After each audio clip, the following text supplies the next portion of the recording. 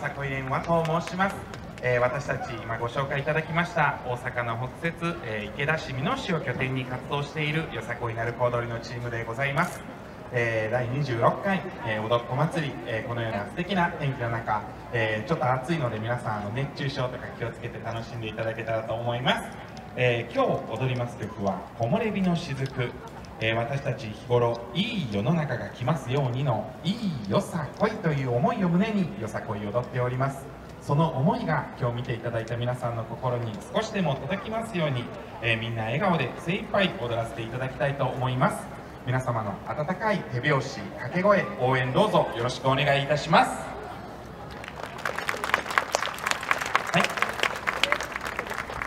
それでは踊らせていただきます。よさこい連は木漏れ日の雫構えて。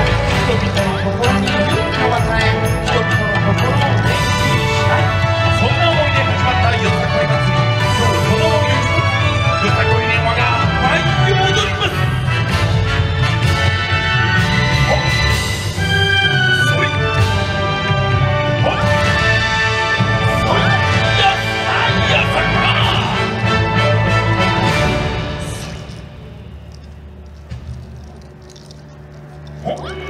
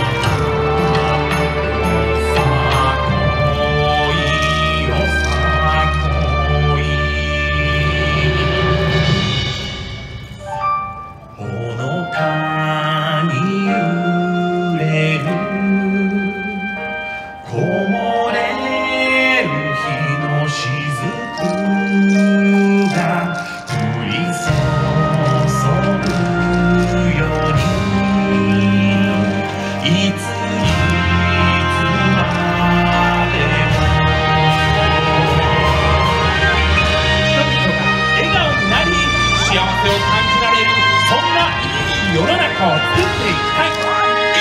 よさこい。その一つにい。